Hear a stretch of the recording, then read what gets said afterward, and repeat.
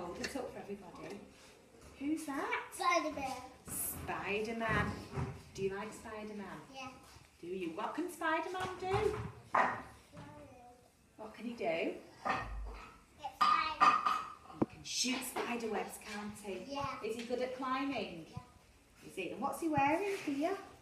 What's this on his red outfit? Spider. Big spider. So you turn around to show This everybody. is crazy.